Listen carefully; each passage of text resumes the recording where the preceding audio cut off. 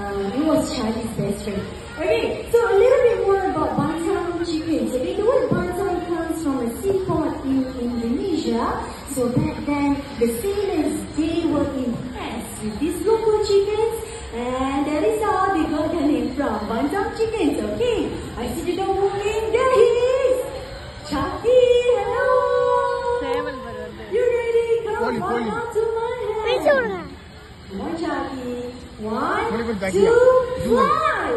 Wow! A perfect touchdown! Okay, now I'm sure many of you think that chickens they cannot fly, but that is not true. Chucky here has proven all of us otherwise, okay? Hey! By the way, those birds, they are not part of the show, okay?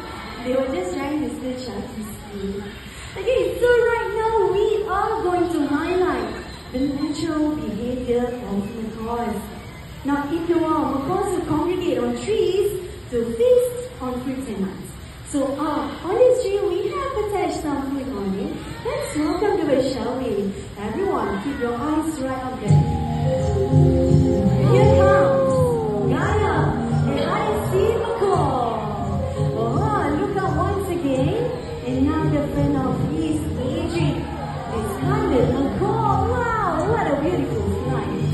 Now, macaws like them, they can be found in jungles of South America.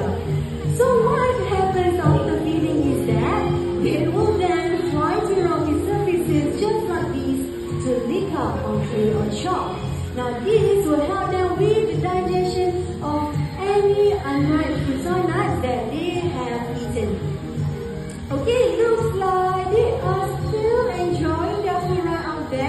Not to worry, these will definitely be the next stop.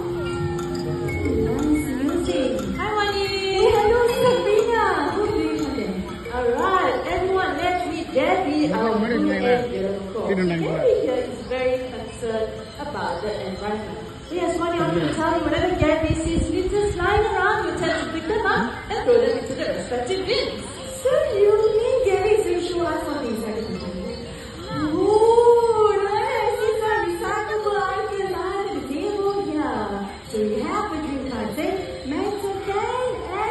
Quân!